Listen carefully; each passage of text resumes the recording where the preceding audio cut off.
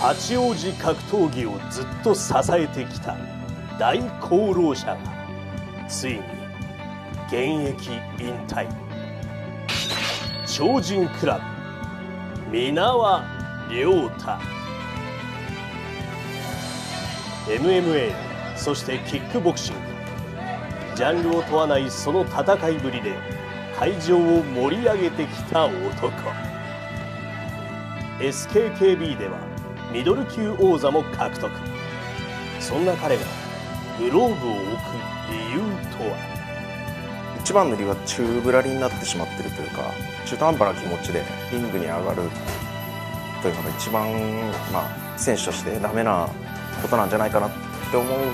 ている中で気持ちをこう一番マックスの状態に持っていけなくなってくるきたっていうのが一番の理由ですね。自分の心に嘘はつけない。だから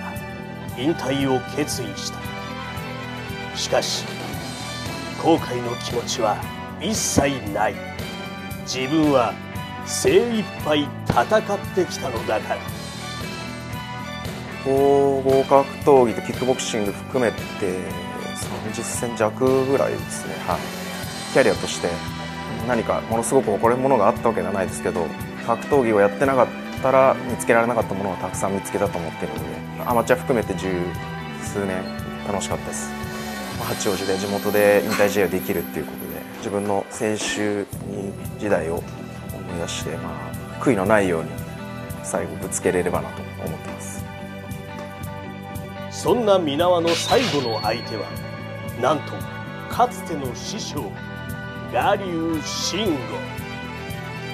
はちゃめちゃな格闘技人生を送るこの男。を皆輪はずっと見続けそして成長を遂げてきた。感謝の気持ちがあるからこそ最後は全力でぶつかっている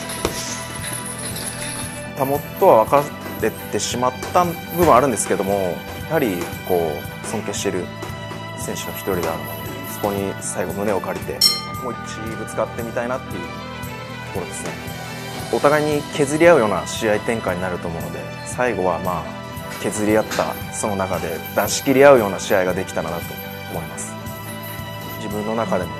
きっと多分今までで一番特別な試合になると思います。そして皆輪も我流も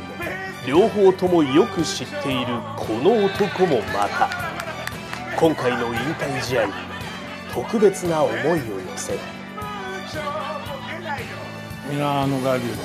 ジムでスタートしてで途中でまあ超人クラブに移籍という感じなんですけれども、まあ、かつて師匠というかまあ兄貴分のような我流と最後思いっきり自分の今までやってきたことをぶつけて思いっきりぶつけて悔いのないようにやってもらいたいと思います。いざさらば超人クラブの主力を担った男皆輪亮太その熱い戦いぶりを我々はしかとこの目に焼き付ける。今回ラストです、えっと、精一杯自分のやってきた十数年間の格闘技の全てをぶつけたいと思いますので応援よろしくお願いします。そして、えっと、対戦相手の慎吾さん、えっと、精一杯盛り上げれるようにお互い、えー、精一杯戦いましょう。よろしくお願いします。関東リフォームプレゼンツ皆輪亮太引退試合キック85キロ契約3分3ラウンド。皆輪亮太 VS 我流慎吾。